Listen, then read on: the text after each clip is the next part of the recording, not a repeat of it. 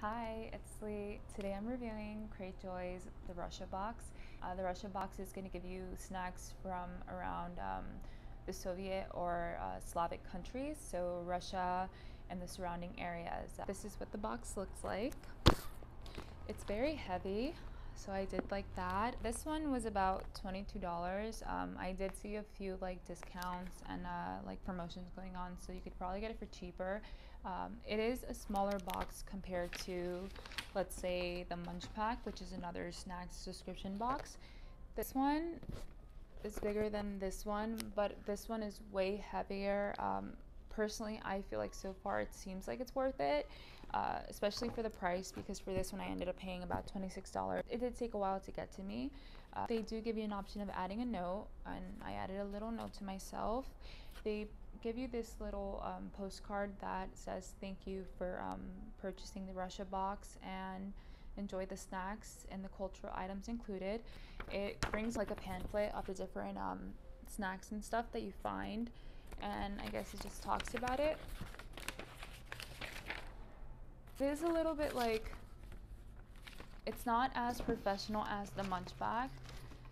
You can clearly tell that they put a little bit more work into this, but honestly, like this definitely makes me feel like it's going to be more authentic versus this that it seems like it has a really good marketing strategy.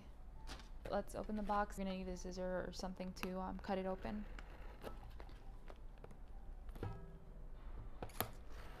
Sheesh. When you go on the Crate Joy website, you will see quite a few different subscription boxes. Um, I This one was definitely one of the ones that I thought was the most interesting. So let's see. Once you open up the box, this is what it's going to look like.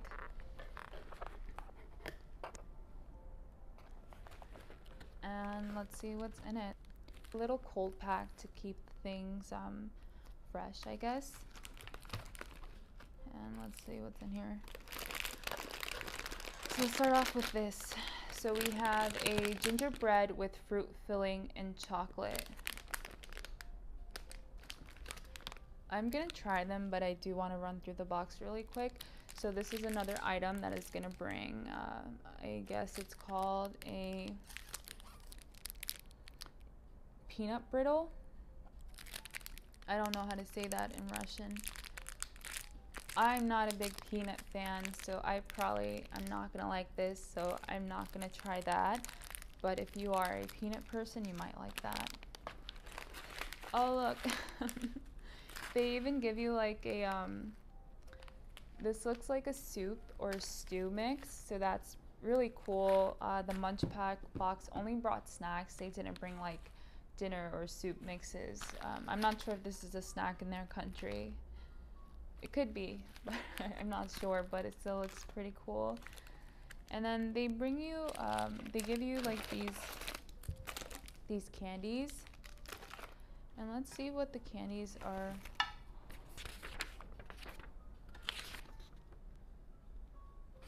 Okay, so the little candies that they bring are called Fizzy Book Hard Candies with Filling.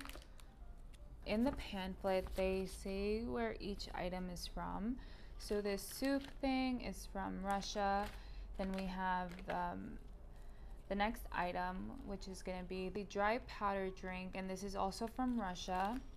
We also have the peanut thing. This one is also from Russia and then these ginger so the my phone actually died in the middle of me recording this so i had some of the content didn't get captured um, so i had opened these ones already and these are actually pretty tasty. They are gingerbread with fruit filling covered in chocolate. So they look like that. It's tasty. I had one earlier. They don't bring that many about like 10 so you could definitely eat this in one sitting, I think. I could eat it in one sitting.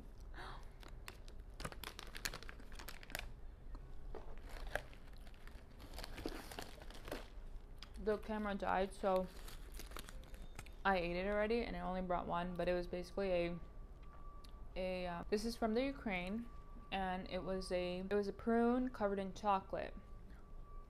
It was good. It was good.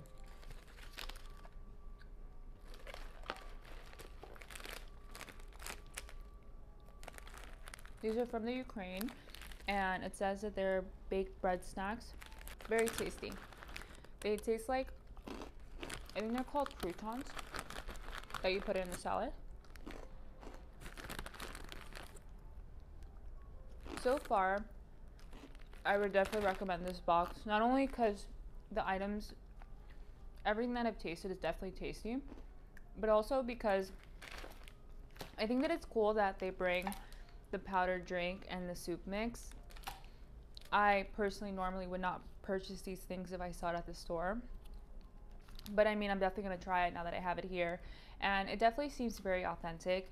Uh, one of the things that I do like about these items is that they're all in Russian or I guess like Ukrainian or well this one is the only one that it is in English um, so maybe it's made for exporting purposes uh, but I do prefer when the packaging is all in uh, the country's language because it does show you that these are the items that they're most likely selling to the people in the country versus like an exporting item that is from there but they're they're meant for people in other places. These candies are another candy that I brought and I thought these were actually very tasty.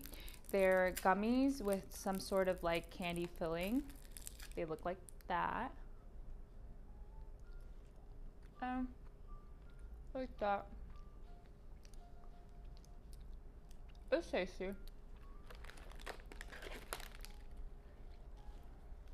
So aside from the snacks, the drink, the food, another item that the box is going to bring is going to be a cultural item. And this I thought was really cute. This one is a Soviet figurine. It's um, celebrating Azerbaijan. I don't know what that is, and I don't know if I said it right or not, but um, it's definitely cute, and uh, I, I think I would keep it here it's just really cool because the MunchPak didn't bring that, and really they only brought treats that I personally probably wouldn't buy either, and I definitely wouldn't want to try again.